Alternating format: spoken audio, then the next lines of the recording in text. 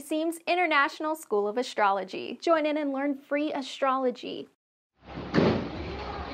नमस्कार जी सभी प्यारे भाइयों को परम पूज्य पंडित रूपचंद जोशी जी का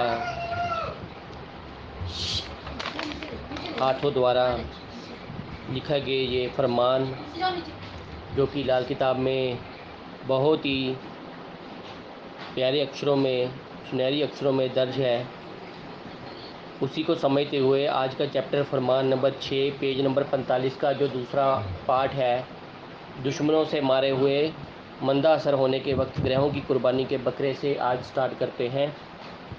देखिए जिस तरह से जो टाइटल टाइटल में क्लियर किया हुआ पंडित जी ने कि दुश्मनों से मारे हुए कौन से दुश्मन? जैसे पीछे हमने एक, एक चैप्टर पढ़ा था जिसमें लिखा हुआ था कि कौन सा ग्रह किसका दुश्मन है उससे आप अंदाज़ा लगा सकते हैं। आइए आगे चलते हैं। फरमान नंबर छः पेज नंबर पैंतालीस पे पंडित जी फरमान करते हैं कि दुश्मनी से, दुश्मनों से मारे हुए मंदा असर होने के वक्त ग्रहों की कुर्बानी के बकरे, यानी कि असली ग्रह की अपनी जगह की बजाय किसी दूसरे ग्रह की हालत ख़राब हो जाना, या वह अपनी जगह दूसरे ग्रह को मरवा मरवा मरवा देंगे। पंडित जी यहाँ ये कहना चाहते हैं कि एक ग्रह के ऊपर अगर कहीं कष्ट आएगा तो उसने कुर्बानी देने के लिए अपने ऊपर कोई कष्ट ना आए तो उसका कष्ट जो है अपना, जो दूसरे के ऊपर डाल देना। आइए स्टार्ट करते हैं जो पंडित जी ने यहाँ पे एग्ज़ाम्पल के तौर पे समझाया हुआ है। सबसे पहले लिखा हुआ है शनिचर देखिए, जो शनि ग्रह है, उसने दुश्मन ग्रहों से बचाव के लिए, शनि के दुश्मन कौन है? सूर्य और मंगल, ये जो है शनि के दुश्मन ग्रह हैं। तो दुश्मन ग्रह से बचाव के लिए शनि ने अपनी जान बचाने के लिए अपने पास राहु और केतु दो ग्रह एजेंट बनाए हुए हैं। दो ग्रह जो एजेंट है, शनि और राहु जो है, वो राहु और केतु जो है, वो शनि के एजेंट हैं। और शनि, राहु, केतु जो है, वो पापी टोला बन जाता है, ये हमने पिछले ऑडियो में डिस्कस किया था। तो आगे पंडित जी फरमान करते हैं कि वह शनिचर की जगह फ़ौरन किसी दूसरे की कुर्बानी दिला देते हैं। शनि पर जब भी सूर्य की चोट या मंगल की चोट पड़ती है तो शनि जो है अपनी जगह पर राहु और केतु को आगे कर देता है, जो कि Rahu plus Ketu equal to Shukra, जो कि एक लाल किताब का कंसेप्ट एक पार्ट है जो आगे जाके आपको मसनू ग्रहों में, हमने पहले भी मसनू ग्रह कैसे बनते हैं, उसमें ज़िक्र किया था। तो यहाँ पे किताब फरमान करती है कि वह शनिचर की जगह फ़ौरन किसी दूसरे की कुर्बानी दिला देते हैं। राहु, केतु, मिले जुले, मसनू, शुक्र माना है। इसलिए शनि को जब भी सूर्य का टकराव तंग करेगा, जैसे ही शनि को अगर सूर्य की टक्कर पड़ जाए या सूर्य और शनि इकट्ठे किसी घर में ऐसे घर में बैठ जाए जहाँ में से दोनों में से एक बहुत ही मंदा हो जाए या सूर्य शनि की युति हो और उसके ऊपर राहु और केतु की दृष्टि आ जाए या किसी या मंगल बद की दृष्टि आ जाए तो फिर वहाँ पे जो है, वो राहु और केतु जो हैं, वो मसनू शुक्र यानी शुक्र के ऊपर वो कष्ट डाल देंगे। तो उसकी अगर सूर्य शनि का झगड़ा होगा या शनि को उसके सूरज का टकराव आ जाएगा तो वह शुक्र औरत को मरवा देता है। तो यहाँ पे ये कंसेप्ट बहुत ज़रूरी है इसको समझना। इस पॉइंट को याद रखना कि अगर इस तरह का आगे हम जब चर्चा करेंगे ग्रहों की तो उसमें ये हम, आप, हम आपको क्लियर करवा देंगे। आगे पंडित जी फरमान करते हैं, या सूर्य शनिचर के झगड़े में औरत मारी जाएगी या ऐसे कुंडली वाले की औरत पर इन दोनों ग्रहों की दुश्मनी का असर जहाँ पहुँचेगा। अगर सूर्य शनि के झगड़े में अगर शुक्र मारा जाएगा तो अगर औरत बच जाती है तो फिर उसकी फाइनेंशियल हालत बहुत ज़्यादा ख़राब हो जाएँगे और उसकी पत्नी बीमार हो जाएगी, जिससे कि वो अपनी पत्नी का इलाज करवाने में भी उसको दिक्कत आएगी। इस तरह की अगर उपाय ना किए जाए तो मुश्किल हो जाएगी।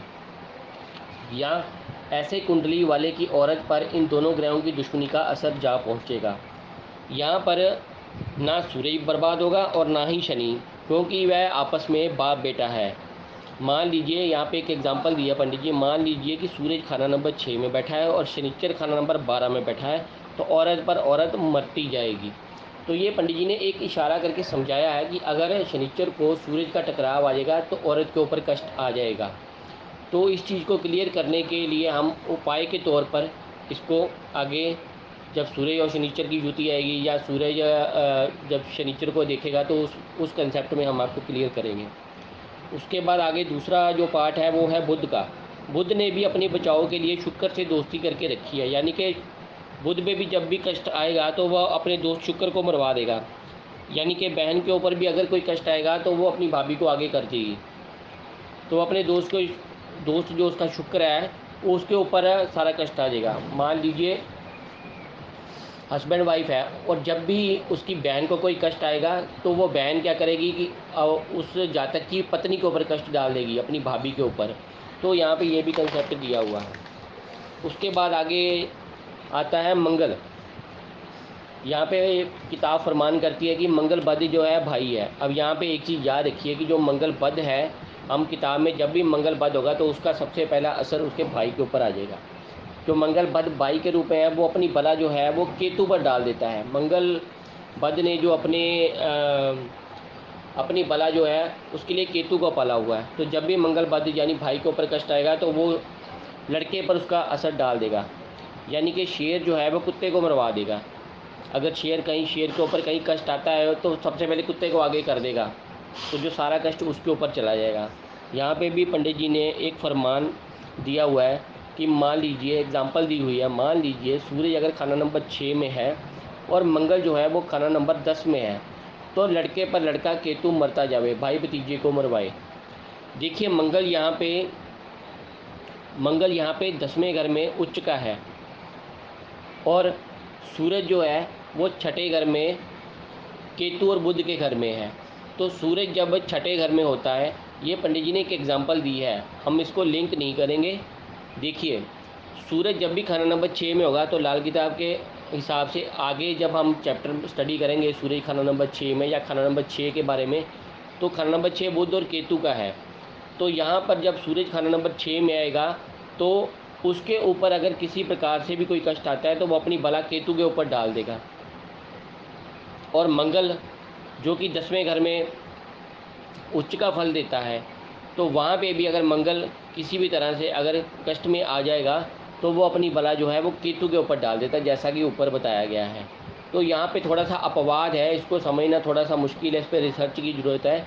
तो जब आगे प्रैक्टिकली हम करेंगे तो अब हमें समझ लगेगी कि सूरज छः और मंगल दस पर लड़के पर लड़का केतु मरता जाए, भाई भतीजों को मरवाएगा। वैसे सूरज छः, जब भी कष्ट में होएगा तो वो अपनी बला केतु पे डाल देगा। तो इस तरह से ये यहाँ पे पंडित जी ने बताने की कोशिश की है। अब आगे आते हैं शुक्र। शुक्र जो है यहाँ पे किताब फरमान करती है कि शुक्र औरत शैतान स्वभाव। खुद अपनी बला चंद्र यानी कुंडली वाले की माता पर जाद केलेगी मसलन चंद्र शुक्र बिल मुकाबिल हो तो माता अंधी हो जावे।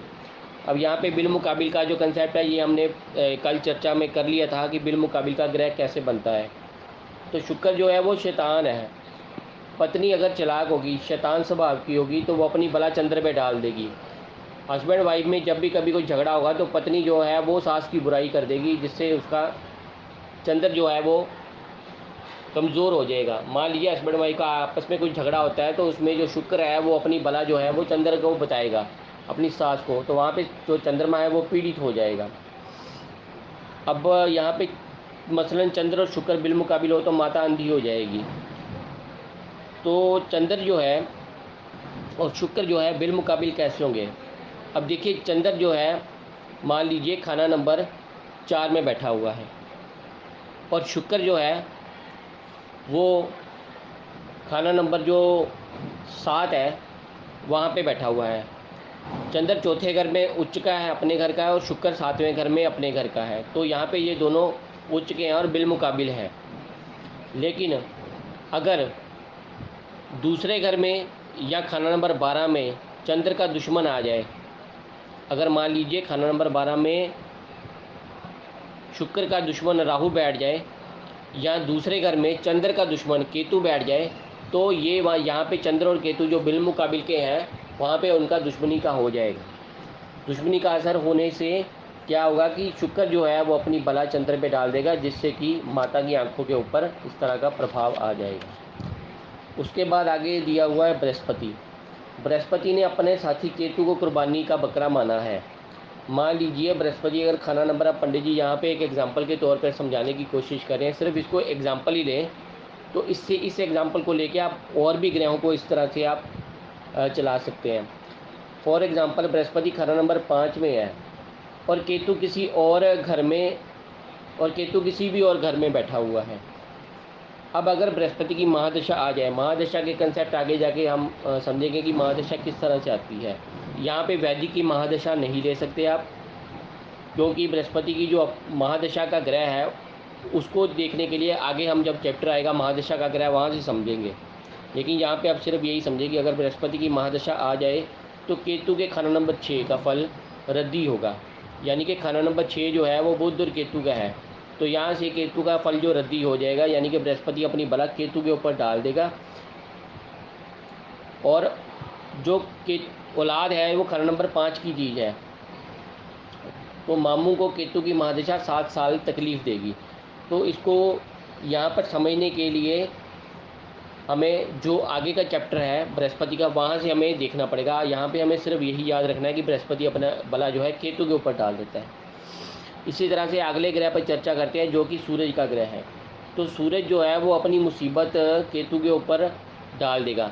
सूरज के के ऊपर जब भी कष्ट आएगा तो वो अपना असर केतु के ऊपर डाल देगा। जैसे मैंने ऊपर बताया था कि यहाँ पे जब पंडित जी ने एग्जांपल दी थी कि अगर सूरज खाना नंबर छः में हो, मंगल दस में हो तो अपनी बला केतु पे डाल देते हैं। इसी तरह यहाँ से क्लियर हो गया कि सूरज अपनी मुसीबत के वक्त बला उसकी केतु के ऊपर डाल देगा।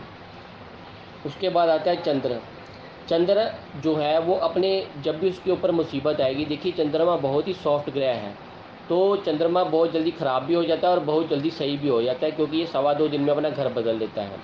लेकिन अगर जन्म कुंडली या वरिष्ठफल कुंडली में हो तो फिर इसकी स्थिति जो है, वो बहुत ही कारगर सिद्ध होती है, इसको हमें लेकर चलना पड़ता है। चंद्र के ऊपर जब भी कष्ट आएगा तो वो अपनी जो बला है, वो अपने दोस्त ग्रहों, बृहस्पति, सूरज और मंगल पर अपनी बला टाल देगा। उसके बाद आते हैं राहु और केतु। राहु और केतु जो है, वो खुद ही अपना आप निभाएँगे, क्योंकि वो किसी के ऊपर कष्ट नहीं डालते, क्योंकि इनको छाया ग्रह बोला गया है। वो खुद ही अपना आप निभाएँगे और अपनी ही जो मुतलका अशियाँ हैं और जो उनकी अपनी ही चीज़ें हैं, रिश्तेदार हैं या कारोबार है, उसके ऊपर वो मुसीबत पैदा कर देंगे। तो इस तरह से ये फरमान नंबर छः में हमने कुर्बानी के बकरों के बारे में समझा। इसको अगर हम अपने ध्यान में रखते हैं तो आगे जाकर हम कुंडली में पता लगा सकते हैं कि कौन सा ग्रह अगर ख़राब है और उसकी बला का बकरा, बली का बकरा कौन बन रहा है।